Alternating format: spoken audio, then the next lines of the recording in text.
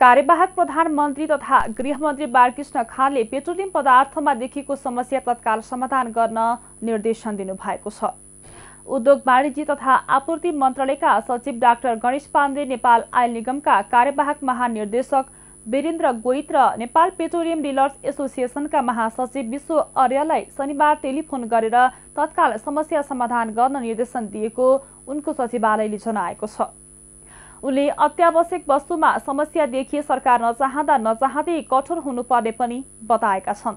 व्यवसायीहरूले petroleum पदार्थ बेचे नबेचेको अनुगमन गर्न कार्यवाहक प्रधानमन्त्रीले आफूहरूलाई निर्देशन दिएको र आफूहरूले जिल्ला प्रशासन कार्यालय काठमाडौँको सहयोगमा अनुगमन गरेको निगमका कार्यवाहक महानिर्देशक गोइतले जानकारी दिनुभएको छ।